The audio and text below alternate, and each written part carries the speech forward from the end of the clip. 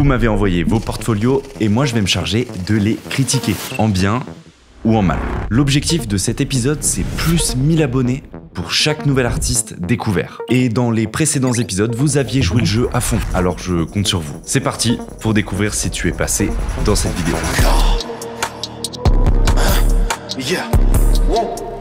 On commence par un projet de figurines, des art toys comme on les appelle. Si je peux vous citer un exemple qui peut être connu pour vous, c'est Cause ou encore les Beer Bricks. C'est le délire un peu streetwear, sneaker addict. Pas trop ma cam, mais je peux comprendre pourquoi on aime. Mais là, je dois avouer que j'ai été un petit peu bluffé par euh, ce projet. Déjà, c'est un projet qui a été fait entre père et fils, donc euh, assez original, j'aime beaucoup. Et donc, à premier abord, je me suis dit, waouh, ça va être un truc fictif, etc. Et pas du tout, c'est un truc très concret. Euh, ils ont lancé un Kickstarter pour réaliser ces trois figurines. Et à l'heure laquelle je tourne cette vidéo, le Kickstarter a complètement réussi. Et puis, pour donner envie aux gens de participer, ils ont même créé un teaser en 3D euh, il y a vraiment eu beaucoup d'efforts qui ont été mis euh, dans ce projet. Et je trouve que Globalement, c'est un truc super bien ficelé. Sachant que le Kickstarter a déjà été lancé et que les premières figurines sont en production, je sais pas comment ça se passe si vous voulez vous en procurer une, mais en tout cas, ça peut mettre de la visibilité sur ce projet pour peut-être un prochain drop ou peut-être concrétiser de plus en plus cette marque. Un truc que j'ai remarqué en regardant les visuels, c'est que ça me faisait fortement penser à Robot Boy. Pour ceux qui ont la ref, je sais c'est à l'ancienne, mais franchement, c'était un bête de dessin animé. Moi, ce qui m'a touché fortement, c'est que c'est un truc de passionné et ça se voit que ça a été fait avec une envie commune et c'est beau tout simplement. Pop Terror. Gardez ce nom en tête, peut-être que euh, je suis visionnaire et il va se passer un truc dans les années à venir.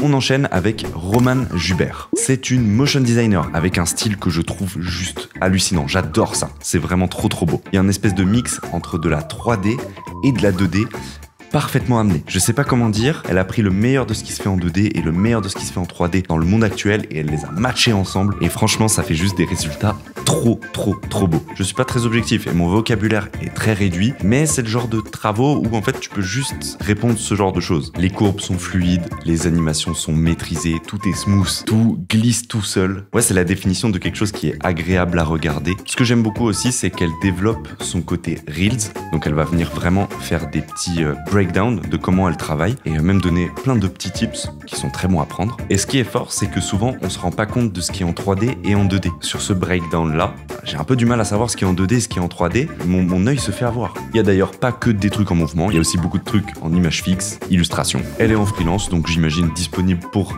des projets. Donc foncez, allez la follow et envoyez un maximum de soutien. Bon, avouez, vous pouvez pas rester indifférent face à ce que vous êtes en train de voir. C'est quoi ce truc que j'ai devant moi là? Eh bien, c'est le Asus ZenBook Duo UX 8406 sous Intel. Et c'est le premier PC portable équipé de deux écrans tactiles 3K 120 Hz OLED de 14 pouces. Vous commencez à le savoir, Asus égale OLED. Ils rigolent pas du tout sur leurs écrans. La qualité des dalles et la précision des couleurs, c'est leur point fort. Bon, c'est quoi ce monstre Pour commencer, on a le mode double écran. Très cool pour consommer du contenu horizontal. Ensuite, on a le mode PC de bureau. Là, le contenu va être vertical. Mais dans les deux cas, ces écrans peuvent devenir un seul et même écran géant avec la fonction ViewMax de Asus. Et si tu te posais la question, oui, il y a une béquille qui est fournie pour faire tenir les écrans. Bien évidemment, tu as aussi le mode ordinateur portable classique. Le clavier et le pad viennent s'aimanter par-dessus le deuxième écran. Puis maintenant, imagine que tu es en réunion. Tu as aussi le mode partage. Grâce à la charnière 180 degrés du PC, tu peux le mettre à plat, miroiter le contenu et le montrer à la personne en face. Maintenant, niveau performance. C'est le processeur Intel Core Ultra 7 qui est aux commandes. Autant te dire que lui, il est pas là pour rigoler. Et bien sûr, je te mets à l'écran les autres caractéristiques techniques que tu dois connaître. En vrai, Asus, ils ont une vraie histoire avec les doubles écrans. Ils adorent trop ça depuis 2018. Ils innovent et anticipent les besoins de demain. Et là, je trouve qu'on arrive à un format ultra mature qui me plaît énormément. Le lien pour se procurer le Asus ZenBook Duo UX 8406 sous Intel avec son processeur Intel Core Ultra 7 est juste en dessous dans la description. On enchaîne avec Florian Gaillou. Il se présente comme designer graphique ou encore illustrateur freelance. Et moi, ce que j'ai immédiatement remarqué, c'est son côté très versatile. Pour parler d'un projet récent, on a par exemple la mascotte de Mousse, qui est le café concept qui a été ouvert par Natou. Et typiquement, cette mascotte, quand je l'ai vue directement, j'ai fait c'est incroyablement smart, c'est trop bien. Voilà, j'ai le plaisir de découvrir que c'est lui qui l'a fait, donc euh, ça c'est une très belle découverte. À part ça, en termes d'illustration, on a un style que je catégoriserais un peu comme dans l'air du temps. C'est des illustrations qui sont énormément demandées. Mais ce qui est trop cool à voir, c'est qu'il l'adapte sur tous les supports. Ça peut être des affiches, ça peut être une cover d'un magazine, un menu de restaurant ou alors encore une carte de visite. Bref, je pense qu'il est ce qu'on appelle aujourd'hui un brand designer. Donc c'est quelqu'un qui est capable de créer des logos, qui est capable de créer des petites illustrations pour accompagner ce logo et créer un design qui est capable de choisir les bonnes typographies, les bonnes compositions. Et ça, c'est beaucoup plus dur qu'on ne le pense. Pareil, de ce que je vois, c'est quelqu'un qui est représenté par une agence, l'agence Pépite, mais il a l'air d'être disponible pour des travaux. Et n'hésitez pas à aller follow un maximum, bien sûr.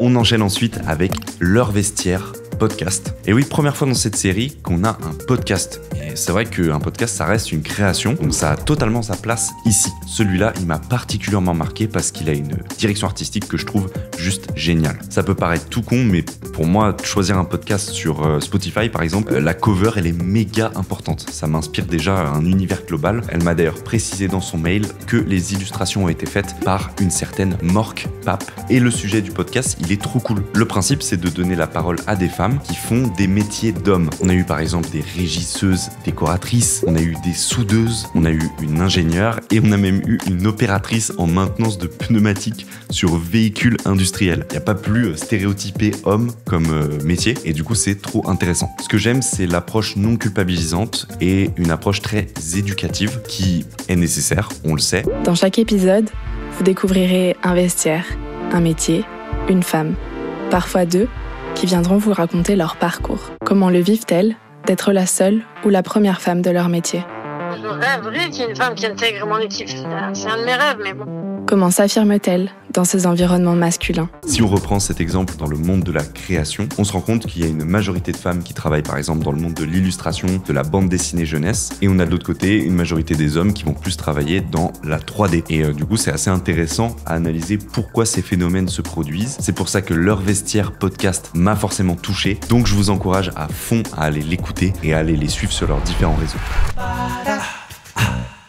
On enchaîne avec un artiste qui s'appelle Ice Cream. J'espère que ça se prononce comme ça. Et alors là, on rentre vraiment dans un délire artiste. C'est on aime, on n'aime pas. Personnellement, j'ai été immédiatement touché par son art. Si on revient un petit peu en arrière, je dois dire que c'est un art qui me touche pas trop. Voilà, c'est pas trop mon style, mais récemment, il rentre dans une nouvelle ère. C'est celle qu'il appelle le petit démon. Et je dois avouer que là, par contre, je suis comblé. Du coup, si je comprends bien, c'est principalement sur des toiles euh, avec des tailles assez conséquentes. Là, par exemple, c'est 100 par 73, donc c'est huge hein, pour l'avoir déjà fait en vidéo. Euh, je me rends compte le temps que ça prend. Et quand ça va pas être sur des toiles, en fait, il va imaginer son petit personnage rouge, ce petit démon, dans des environnements qu'il a sûrement pris en photo et les intégrer dedans. Ce que je trouve, encore une fois, très cool. Puis évidemment, quand je vois ce type d'art, ça m'inspire aussi des lieux entiers dédiés euh, à son style. Je pense par exemple à la Cité des Halles à Lyon qui avait laissé un artiste designer le lieu complètement, donc forcément j'ai envie de me dire pourquoi pas lui. Le concept c'est plus je critique vos créations, maintenant c'est j'imagine vos carrières. Attention, il a un shop, malheureusement tout est sold out, mais ça peut vous donner une petite idée de combien peuvent coûter ces euh, œuvres quand elles sortent. Et peut-être qu'il y aura des futurs drops, donc restez à l'affût, allez le follow et peut-être que vous pourrez avoir une de ces toiles chez vous. J'enchaîne avec une textile designer qui s'appelle Manon et qui a une marque qui s'appelle Cœur Canif. Ça aussi, c'est vrai, on l'avait pas encore eu dans la série. De la confection de vêtements, une super découverte chez qui je risque de passer commande très bientôt. Elle va venir créer plusieurs choses des chapeaux, des bonnets, des petits sacs, etc. La particularité, c'est que tout est fait en laine, 100% laine. Enfin, quasi tout, parce qu'il y a aussi des pièces qui sont upcyclées. L'upcycling, c'est créer des vêtements à base de chute d'autres vêtements pour en créer un nouveau vêtement et lui donner une deuxième Déjà, ce qui me marque, c'est les couleurs qui sont choisies qui sont incroyables. Si je comprends bien, il y a un engagement de fou dans la qualité de la laine. C'est une laine 100% mouton française, le plus local possible autour de chez elle, si je comprends bien. En tout cas, il y a l'air d'avoir une vraie envie de bien faire et c'est des confections 100% fait main. Et donc, il y a forcément un temps d'attente avant que la pièce soit confectionnée pour toi sur mesure. Voilà, je dois avouer mon petit préf. Pour moi, c'est le costaud en couleur épinard. Mais je sais pas si cette forme de bonnet, elle me va ou si ça va me rendre encore plus cliché, bobo designer que je le suis déjà. Donc je sais pas, je suis en train de réfléchir. Pour couronner le tout, elle a une chaîne YouTube où elle va tout documenter. Elle appelle ça les studio vlogs. Faut pas s'attendre à du MrBeast. Attention, c'est très détente. Des vlogs un peu ASMR où elle va papoter euh, slash euh, faire de la création, etc. Mais j'ai l'impression que en 2024, on rentre dans une nouvelle ère où on peut être plus authentique, où on peut être plus lent. Perso, je peux me consommer ce genre de contenu sans souci au petit-déj, avec le café à la main. Euh, c'est un pur régal. On enchaîne avec un artiste 3D qui s'appelle Omet. Ici, ce que j'aime beaucoup, c'est que c'est des vêtements futuristes créés en 3D, mais qui peuvent être vraiment une énorme inspiration pour plein de marques. Mais vu qu'il n'y a aucune limite en 3D, vraiment, c'est pousser le truc à l'extrême. Et il y a certaines pièces, franchement, on pourrait dire, ouais, non, impossible dans la vraie vie, mais je pense qu'il y a certaines marques de luxe ou de haute couture qui seraient très intéressées de s'inspirer de cette personne. Ce qui pouvait paraître comme avant un style très avant-gardiste, ces mannequins en 3D dans des environnements un peu vides comme ça, est devenu aujourd'hui un style super mature et affirmé qu'énormément de marques recherchent. Comme quoi ce milieu a énormément évolué et je pense que ça intéresse énormément de marques. Donc tous ceux qui sont dans la conception ou qui cherchent justement des nouvelles idées de vêtements, je pense que vous avez une belle mine d'or, mais évidemment, allez le contacter, on vole pas les idées. Attention.